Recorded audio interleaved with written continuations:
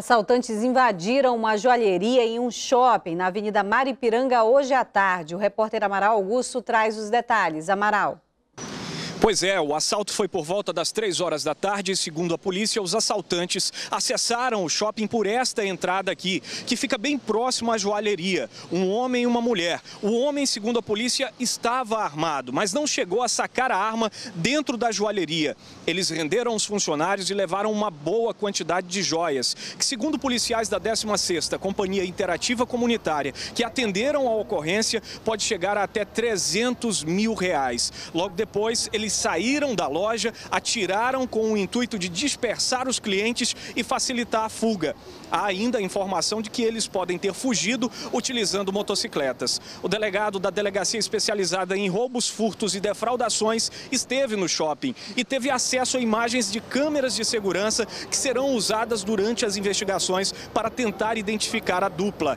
Também, nossa equipe teve acesso a imagens que mostram uma pessoa passando mal logo depois ao assalto. O shopping não quis falar sobre o assunto e também os lojistas não quiseram se pronunciar. A Delegacia de Roubos, Furtos e Defraudações é quem preside o inquérito policial. Amaral Augusto para o Jornal em Tempo. E operários da construção civil fizeram uma manifestação hoje em frente à Suab. Eles querem ser beneficiados com casas populares do governo federal. O protesto foi pela manhã e causou transtornos aos motoristas. No protesto, cerca de 200 trabalhadores da construção civil bloquearam a avenida nos dois sentidos. O trânsito nas vias ficou lento. O motivo da manifestação era a inclusão dos trabalhadores da construção no programa de casas populares do governo federal, que ainda não tinha sido liberada. Segundo o sindicato da categoria, mais de 5 mil operários foram cadastrados. Desde fevereiro, que marcou a reunião, o secretário não recebe a gente. Estão os trabalhadores, nós somos 80 mil trabalhadores, 70% mal alugados. E a gente quer uma resposta dos governantes. Ana Célia participou do protesto no lugar do marido que trabalha há mais de 12 anos como operário. Ela conta a dificuldade em morar de aluguel. É, água, luz, aluguel dá praticamente mil reais. E da onde que eu vou tirar o resto do sustento da família? Depois de três horas, a via foi liberada. Caso não haja acordo, os trabalhadores prometem fazer um novo protesto daqui a 15 dias. A SUAB informou que não atende os trabalhadores da construção civil e que não há inscrições abertas devido à grande demanda do órgão referente ao programa Minha Casa Minha Vida. E hoje pela manhã, mais um hospital foi inaugurado aqui na capital. Ele fica no centro e deve gerar cerca de 300 empregos. O novo hospital tem sete andares e será referência em neurologia e cardiologia. A gente investiu muito para que o cliente encontrasse aqui, além de estrutura tecnológica, também estrutura assertiva humana. São 108 leitos entre UTI, enfermaria, apartamento e centro cirúrgico. Um investimento de 31 milhões de reais. Essa é a primeira fase de um projeto muito maior.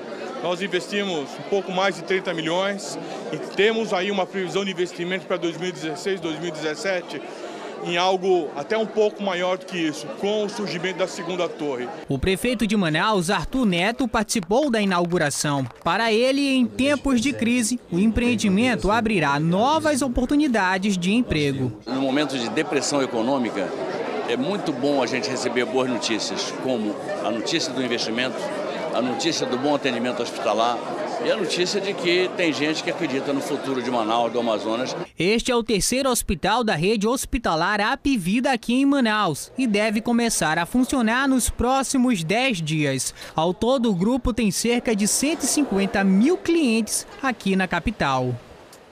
Você acompanha agora a previsão do tempo para esta sexta-feira. Em Manaus, a sexta-feira vai ser de tempo nublado, mínima de 24 e máxima de 31 graus. Em Apuí, Lábrea e Boca do Acre, amanhã vai ser de tempo nublado a parcialmente nublado, mínima de 22 e máxima de 34 graus. Começaram a valer hoje novas regras para a despesca do pirarucu. A medida é para proteger a espécie. O manejo do pescado também vai ser ampliado e a ideia é beneficiar 8 mil pescadores até 2017. O consumidor reclama do preço. O quilo é 20 reais, 25, né? É, tá caro. Ainda que caro, o pirarucu tem venda certa nas feiras da capital. Peixe de 100 quilos, 80 quilos. 200 quilos. Só que o caminho percorrido até aqui é longo. Boa parte do pirarucu vendido nas feiras vem de áreas de manejo, onde a pesca é controlada e existem regras para o tamanho e o peso. Ele só pode ser vendido se vier de áreas manejadas com autorização das entidades ambientais. O peixe gigante, que chega a medir 3 metros e pesar 200 quilos, está ameaçado de extinção. Por isso, a pesca nos rios é proibida o ano inteiro. Com essa prática, nós estamos aumentando os estoques de peixe. Esse programa começou em 2002. Nós tínhamos cinco comunidades. A nossa expectativa que em 2018 a gente passe de 1.200 comunidades, um volume significativo de pescadores. E a nossa expectativa já para o ano de 2015 é que haja uma movimentação econômica de mais de 11 milhões de reais. 1.284 lugares em 20 21 municípios estão autorizados a fazer a despesca do pirarucu. Outros três vão ser incluídos nessa lista: Coari, Tapauá e Atalaia do Norte. O governo assinou hoje, nesse seminário que discute o assunto, um documento que estabelece novas regras para a pesca do pirarucu no estado. Esse marco regulatório ele estabelece o tamanho do peixe que pode ser capturado, a época que pode ser capturado, o percentual de peixe que pode ser capturado. Portanto, é uma tentativa de você é, organizar o setor, normatizar o setor com vista à sustentabilidade. Quer dizer, todo ano poder você também pegar essa quantidade. A cota de captura é de 30% dos pirarucus adultos, mas que isso não pode ser retirado dos lagos. Só os peixes maiores de 1,60m podem ser pescados, o que preocupa seu Adinon, porque o tamanho deles varia muito. Tem lagos que você vai matar, pegar o peixe, eles são cumpridos e não dá na medida. Cumprimento das novas regras vai ser fiscalizado pelo IPAAN em parceria com o IBAMA. O Amazonas é o maior estado produtor de pirarucu.